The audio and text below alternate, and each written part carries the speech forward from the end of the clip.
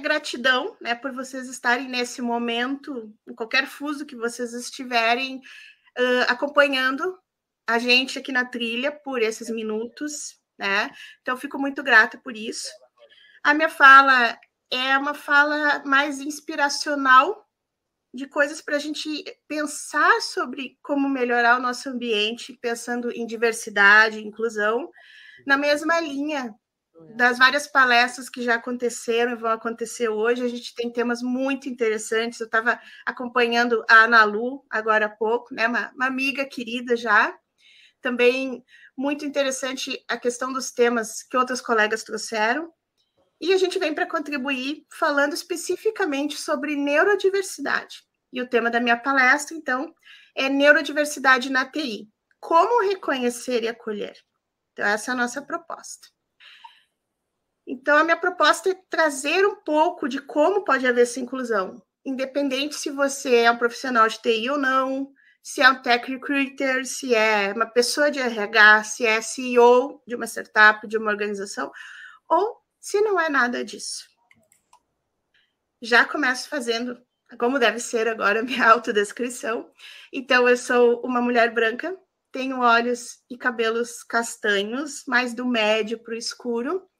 Estou usando um óculos de grau com uma armação na cor branca e uma blusa verde e bandeira. Estou aqui hoje no meu escritório. Tenho cabelo comprido e está preso. Primeira provocação, e vocês podem ficar à vontade, inclusive para digitar aí no chat. E por favor, né, pessoal, participe o quanto vocês puderem no chat, que daí nos minutos finais a gente dá uma atenção maior para os comentários.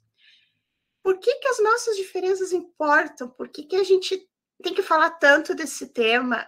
Por que, que tem pessoas que eventualmente dizem, ah, mas vocês estão colocando as pessoas em caixinhas, estão vendo diferença onde não tem, todo mundo é igual. Será?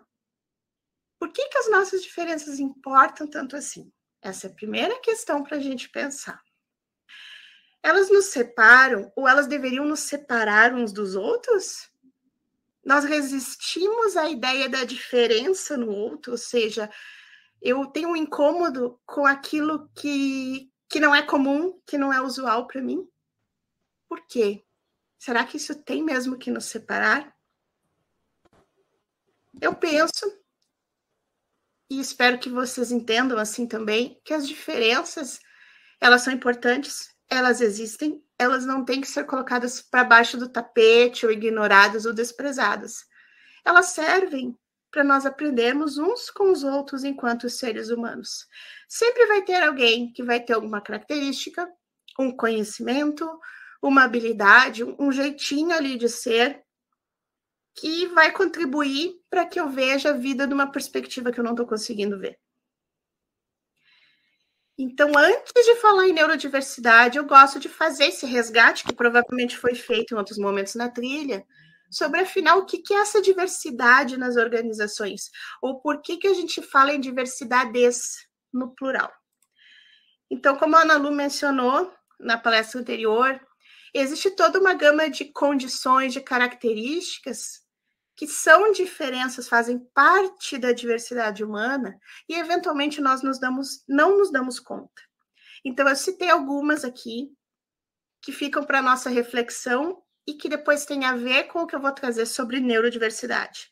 Então tem a questão da diversidade de gênero, a diversidade LGBT+, sobretudo no que se refere à identidade sexual e à identidade de gênero, que são coisas diferentes. A diversidade racial, de povos originários, de pessoas com deficiência, de orientação política, a diversidade socioeconômica, que é aquela questão, por exemplo, assim, eu sou RH, e aí tem candidatos que eles moram lá na periferia da cidade, eles têm muita dificuldade de ter acesso, por exemplo, a essa vaga de emprego e até a própria empresa acaba não querendo porque eles moram longe, por exemplo. Ou como a Ana Lu tinha trazido antes, a gente vê vagas sendo abertas para pessoas trans e é exigida uma, uma qualificação em termos de, digamos, de cursos, por exemplo, que as pessoas eventualmente não têm, e não têm porque elas não quiseram. Não tem porque elas tiveram o acesso a várias oportunidades barrado. Então, eu acabo abrindo uma vaga que acaba não sendo inclusiva. Então, a gente tem esse componente da, da diversidade. Claro, eu dei um exemplo da LGBT, mas a, a questão socioeconômica, da pobreza, das classes socioeconômicas mais baixas, isso restringe o acesso das pessoas a muitas oportunidades. A diversidade etária e geracional, a diversidade cultural e migracional de refugiados, bem interessante, que, que foi abordado também. A diversidade religiosa e de crenças, que a gente pensa, ah, mas eu tenho que falar de religião no ambiente de trabalho. Na verdade, eu tenho que ter direito a exercer a minha crença e ser respeitada, e, sobretudo, o dever de respeitar a crença da outra pessoa, porque aquilo faz parte da vida dela. Nós temos a diversidade corporal, que aí entra, por exemplo, a questão da gordofobia, corpos com adaptações com próteses. A diversidade educacional, que é a questão a, da discriminação da pessoa, por exemplo, que fez um curso que não é numa universidade chamada top de linha. Né? E nós temos, que eu deixei por último para explicar, a neurodiversidade e a diversidade cognitiva, que por uma questão de tradução, muitas vezes no Brasil elas são vistas como a mesma coisa, e não são. Por quê, pessoal? A diversidade cognitiva ela tem mais a ver com estilos de tomada de decisão, de personalidade e algumas habilidades.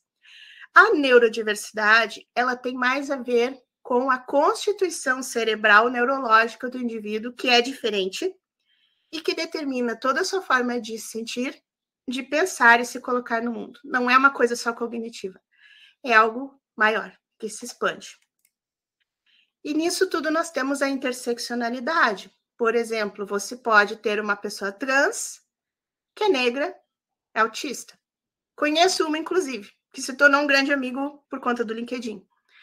Você pode ter uma pessoa que é mãe 40 mais, é uma pessoa obesa, que teve um pouco acesso à educação e que é uma pessoa com deficiência auditiva. Só para dar alguns exemplos. Então, esse olhar interseccional, ele é muito importante para quê? Para a gente evitar essa ideia de caixinha, ou seja, eu tenho que tratar a diversidade considerando que toda característica humana é importante e as pessoas não são definidas por um rótulo só ou uma característica elas são um entrecruzamento. A vida delas, a nossa vida é algo muito complexo. Diversidade, equidade, inclusão, pertencimento.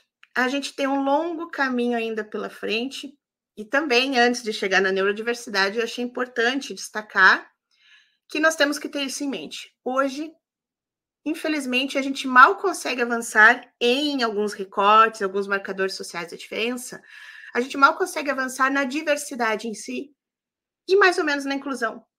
Se a gente for falar em equidade, que não é tratar todo mundo igual, mas é dar a cada um aquilo que é necessário para que todos se sintam confortáveis, e falar em pertencimento, a gente está acessando uma camada ainda mais complexa e que é um grande desafio para as organizações.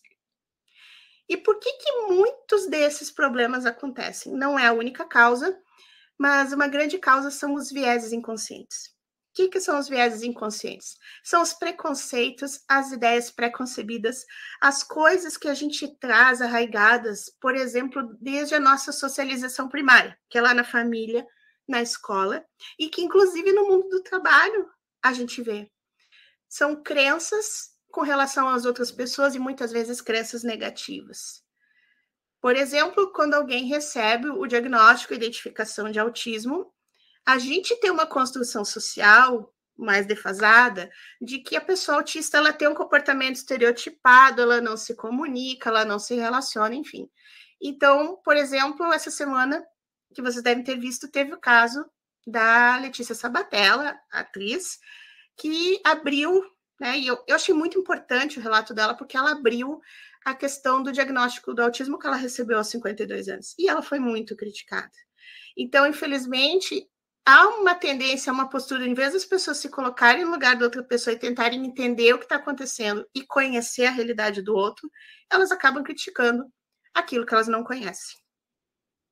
Então, claro, eu não vou ler esse, esse slide aqui grande, né? Mas eu quis destacar deste tamanho que está aparecendo aqui para quem está vendo, muitos, tem aqui pelo menos uns 20 vieses cognitivos, né? Os vieses inconscientes. Então, para vocês verem assim, para a gente ver como a gente incorre sem querer em racismo, capacitismo, etarismo, preconceito de gênero, viés de afinidade ou amizade, contraste, comparação. Eu muitas vezes discrimino uma pessoa por conta de um deslize que ela cometeu, por conta de uma característica específica que ela tem, por conta de um rótulo que ela recebeu. Eu tenho preferência por pessoas por eu ter uma relação de amizade ou porque eu concordo sempre com o que elas dizem, ou eu fico procurando provas. Ah, mas se tu é uma pessoa superdotada, por exemplo, tu tem que ter um prêmio em tal coisa, tu tem que ser sempre muito bem sucedido, enfim. Então a gente fica colocando as pessoas à prova é. Um exemplo bizarro que eu coloquei aqui também, correlação ilusória, que a literatura chama, é, por exemplo, assim, tu perguntar, num processo seletivo, tu perguntar para a pessoa qual é o signo zodiacal dela. É uma coisa que não faz sentido nenhum.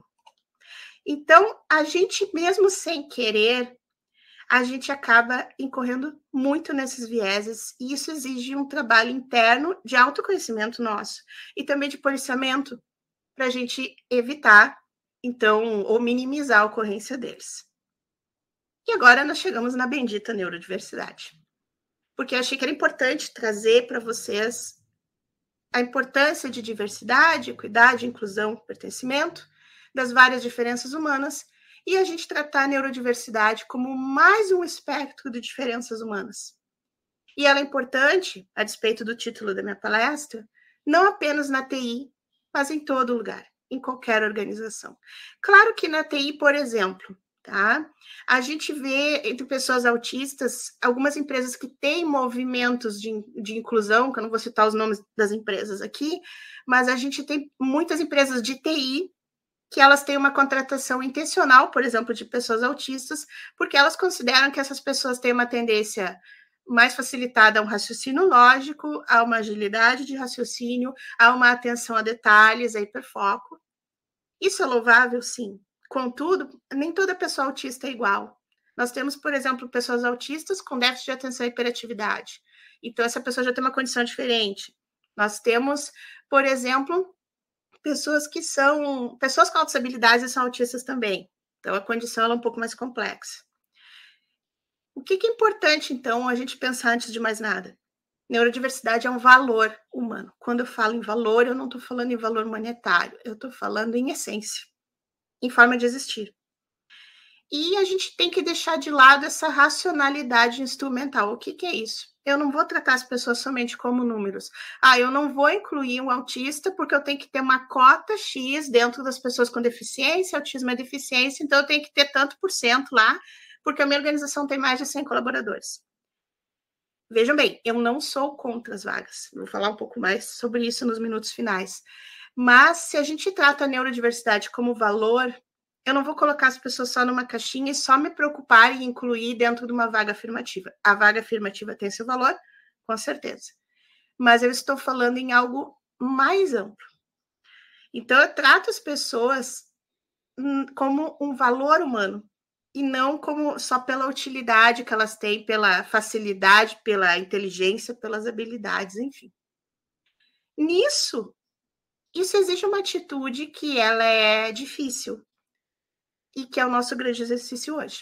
Abraçar a potencialidade e os talentos das pessoas. Ok, você é ágil, você é extremamente lógica, você programa muito bem, os seus programas uh, normalmente não têm erros, tudo compila direitinho, você tem hiperfoco naquilo que você está fazendo, perfeito, lindo e maravilhoso.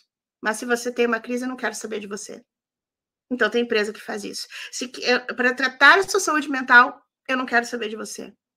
Então, o exercício, tanto para RH quanto para qualquer pessoa que queira abraçar a neurodiversidade, é abraçar também as vulnerabilidades, as fragilidades. Nem toda condição é carregada do glamour das facilidades, das vantagens, de que a gente sempre vai se dar bem na vida, que vai fazer tudo o melhor possível, que a gente é melhor que os outros, etc. Não é nada disso. E um conceito que eventualmente o pessoal confunde é o de neurodivergência. Então vamos pensar o seguinte: neurodiversidade, pessoal, é o grande ecossistema. Todos nós estamos abarcados, abarcadas, abarcados dentro dele. Porque todo mundo aqui tem uma característica, um funcionamento cerebral, emocional, cognitivo diferente. Certo? Então a gente não fala que existem pessoas neurodiversas. O que a gente pode dizer é que existem grupos dentro da neurodiversidade, que são grupos neurodiversos. E quando a gente fala de indivíduos cujo funcionamento ele foge muito assim da média, não no sentido de ser melhor ou pior, ele é diferente. Ele é muito diferente. A gente fala em neurodivergência. Então, o autismo é uma neurodivergência, o déficit de atenção com ou sem hiperatividade é uma neurodivergência também. Descalculia, dislexia, disgrafia, altas habilidades de superdotação são um funcionamento neurodivergente, embora muitas vezes as literaturas não o mencionem. A deficiência intelectual, existe um debate na literatura de que alguns autores consideram dentro das neurodivergências, outros não. E nós temos alguns transtornos psicossociais que, às vezes, não se tem estudos conclusivos ainda sobre isso, mas que eles têm uma concomitância, eles ocorrem com alguma outra condição neurodivergente. Vou explicar. Transtorno de ansiedade generalizada, transtorno obsessivo compulsivo, que pode ser comum, por exemplo, numa pessoa autista, outros transtornos de humor e neurológicos. Eu estava estudando e estou pesquisando ainda, por exemplo, uma demanda que surgiu até de uma pessoa no LinkedIn, eu vi ela comentar sobre isso, se a fibromialgia ela entraria como uma neurodivergência. Hum, a gente não tem estudos conclusivos ainda sobre isso, mas é uma coisa interessante para a gente pensar. Ah, Cris, então tudo é neurodivergência? Não. São condições. Ah, outro exemplo, a gagueira. A gagueira, se ela é associada a uma disfunção neurológica, ela é abarcada dentro das neurodivergências também. Então, se a gente for pensar, tem muita característica que foge assim da média que tanto as já inatas quanto alguma coisa com efeito mais ambiental, como o transtorno de ansiedade generalizada, que é adquirido, que é temporal, enfim, que algumas literaturas consideram como neurodivergência e outras não. Se a gente considerar tudo isso, e eu não coloquei todos aqui, tá? A gente tem em torno, vamos estimar, extrapolar, 20 a 30% da população tem pelo menos uma neurodivergência. Então, a gente não está falando de raridade mais. A gente está falando de singularidade. Não é tão raro assim. Neurodivergência é a mesma coisa que deficiência? O pessoal me pergunta. E eventualmente sim, eventualmente não. Por exemplo, autismo é tipificado como deficiência. E a gente não é portador de autismo, ninguém está carregando nada, tá? Então a questão dos termos é importante também. A, a próprio termo transtorno tem pessoas da comunidade que não gostam. Então a gente fala autismo, tá? O autismo, ele é uma deficiência, mas ele também é uma neurodivergência, porque ele é um funcionamento cerebral diferente. Mas a gente tem, por exemplo, altas habilidades de superdotação. A gente não tem nem CID, nem o Código Internacional para altas habilidades de superdotação.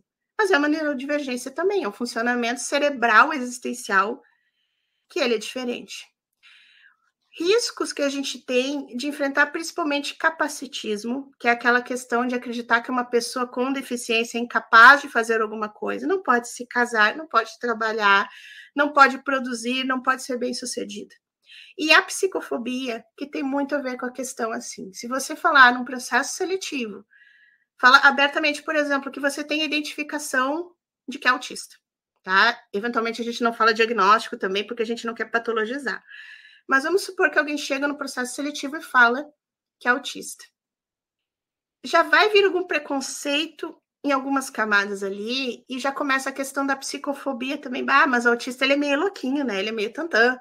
Tem gente que, infelizmente, a gente viu exemplos vergonhosos na própria mídia nessa mesma semana. Ah, de que autismo se resolve na criança com pancada, por exemplo. Foi uma coisa bizarra assim que foi ouvida. E a psicofobia, por exemplo, assim, se você também disser que está fazendo tratamento psicológico, psiquiátrico, com apoio de medicamentos, a gente falando de saúde mental, setembro amarelo. Se você falar isso em determinadas entrevistas, você já é barrado ali.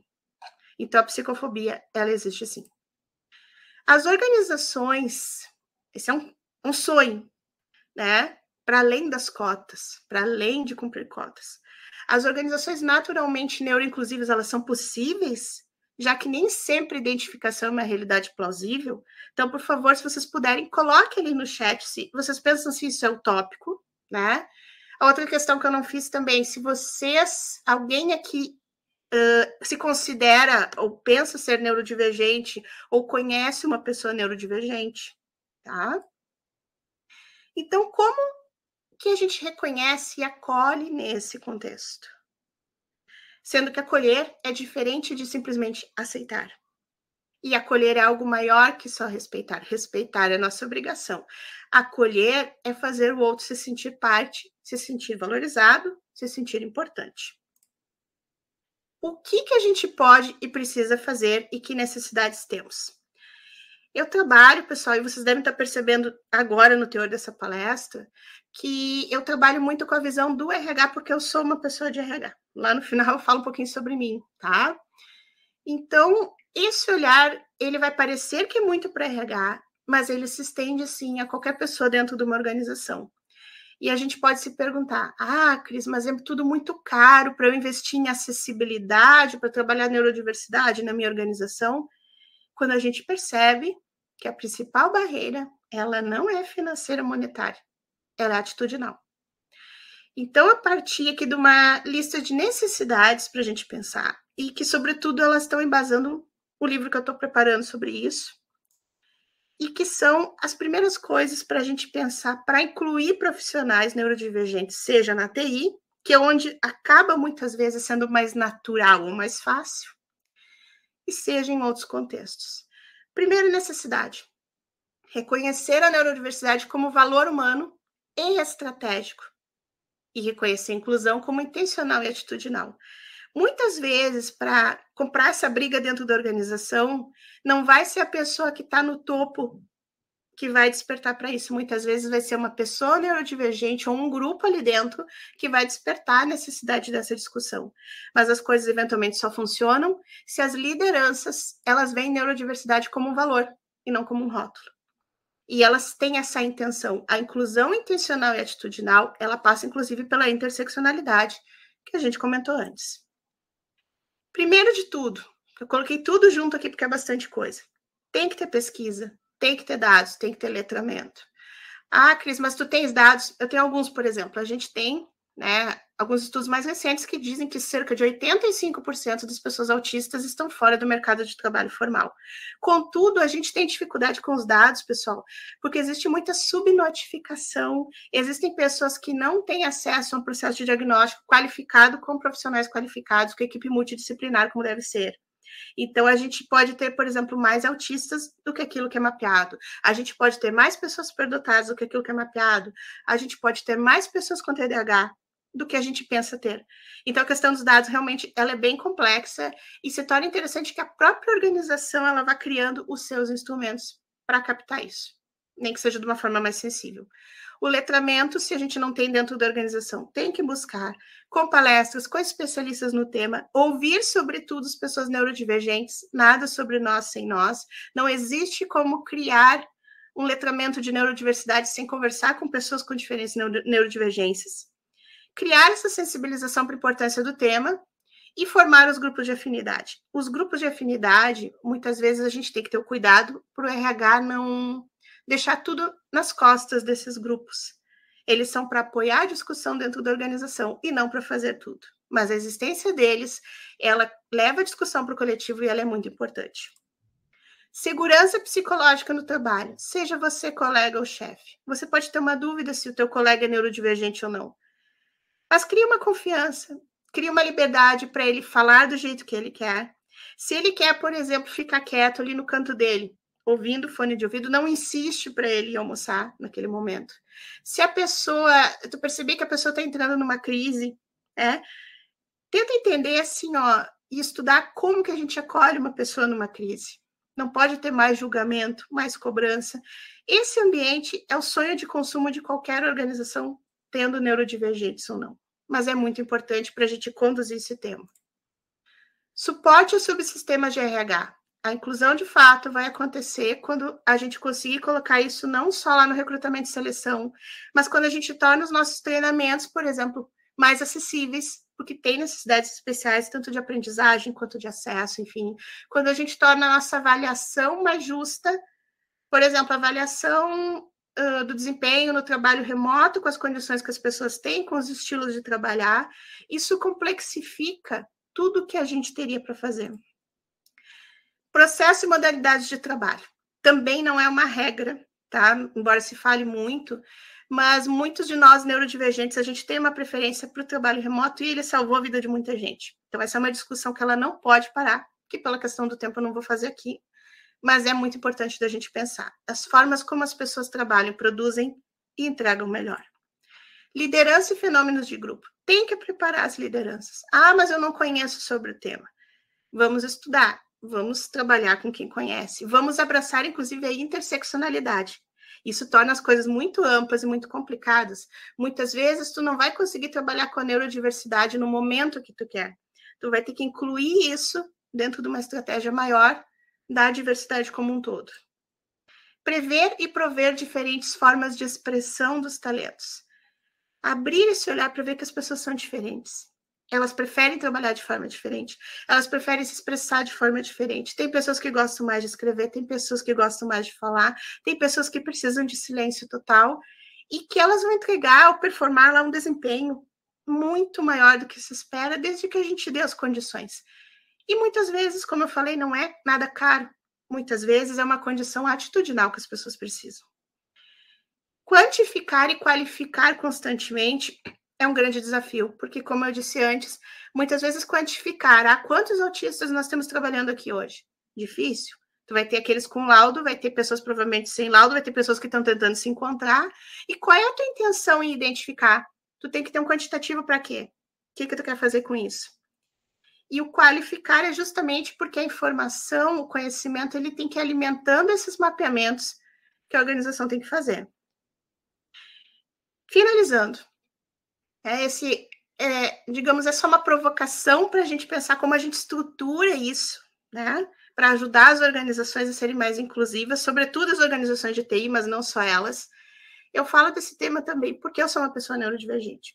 E eu sou uma pessoa com altas habilidades de superdotação, eu sou autista também, embora o meu processo de laudo esteja interrompido por uma decisão minha, eu falo sobre isso no meu LinkedIn também. Eu já trabalhei no passado num projeto muito amoroso de mentoria para pessoas trans, porque eu sou professora de gestão de pessoas na Federal do Rio Grande do Sul.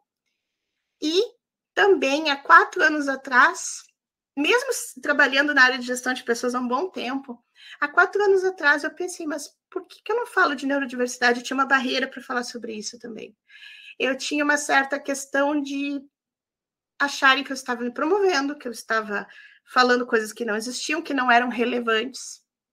Então a gente acabou escrevendo provavelmente o primeiro livro em língua portuguesa sobre uma condição neurodivergente no trabalho, que é a questão de autossabilidade e superdotação. Eu não incluí a questão do autismo, nada naquele livro, porque era um outro momento também. Mas a gente traz esse olhar para a neurodiversidade.